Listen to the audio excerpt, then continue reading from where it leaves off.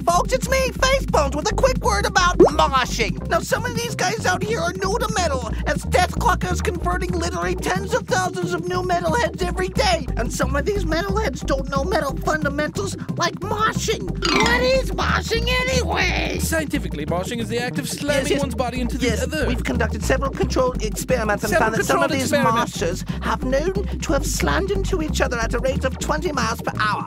Though it isn't recommended without proper It's padding. not recommended You- without proper gear. Well, how about that? So moshing is just running into each other and slamming into them and stuff and junk. Correct face The fuck. rules of moshing state that if When one, if kno- one knocks mosher, another, uh, if one mosher knocks another over, they must help them, them up. up. Oh, really? Why's that? Well, after a prolonged scientific investigation, we found out that not helping one up is known as a dick yes, it's a move. by a dick. Yes. In some circles, they're known as bad breath. Your mother fucks the pool cleaner Yeah, boy. and in some, In some circles, they're- yes, they they're know as, known as, as, as, I drink uh, buckets of uh, urine, uh, not my own, yes, yes, your grandmother's Yes, and I, I, oh, and I came flow. to a gravesite. Yes, Gravesite. gravesite of your mother. Yes. Wow,